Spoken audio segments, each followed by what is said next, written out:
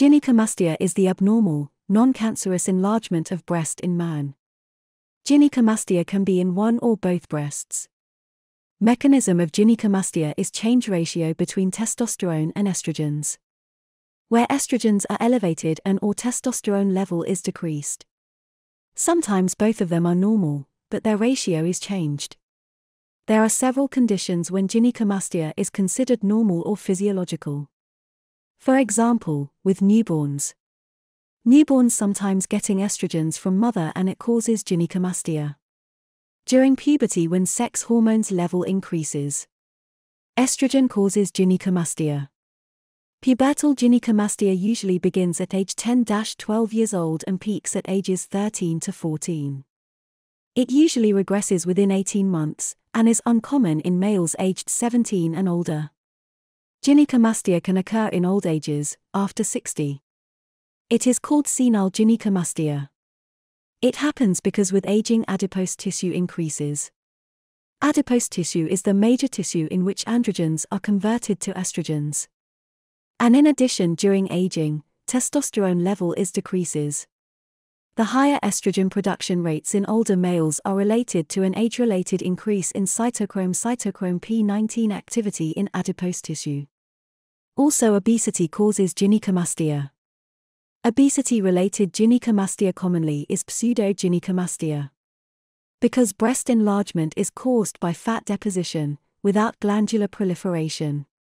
In addition, increased use of anabolic steroids and environmental contamination with xenoestrogens or estrogen like substances may stimulate glandular proliferation in male breast tissue. The cause of gynecomastia is unknown in around 25% of cases. In around 25% of cases, gynecomastia is caused by medications like Medications act like estrogens and include diethylstilbestrol, oral contraceptives, phytoestrogens, digitalis, and estrogen containing cosmetics.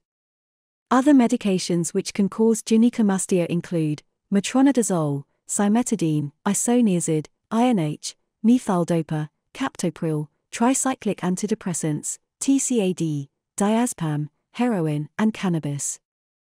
Spironolactone is a steroidal antimineralocorticoid and is one of the medications that have been most linked with gynecomastia.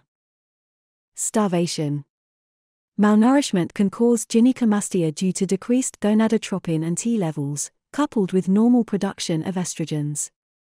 Ethanol may directly disrupt the synthesis of testosterone, and the presence of phytoestrogens in alcoholic drinks may also contribute to a higher estrogen to testosterone ratio. Any disease which can alter estrogen testosterone ration can cause gynecomastia. Prolactin secreting pituitary adenomas. These tumors have also been linked with a causative role in gynecomastia. Hyperthyroidism. In cases of hyperthyroidism, breast enlargement is usually resolved after restoration of the euthyroid state. True hermaphroditism. Patients with true hermaphroditism have both ovarian and testicular tissues. Excessive estrogen secreted from ovarian component may cause gynecomastia by inhibiting intratesticular cytochrome P450C17 activity, leading to decreased testosterone production. Other diseases include diabetes mellitus type 1, Kennedy's syndrome, aromatase excess syndrome, ectopic HCG production, renal failure and dialysis.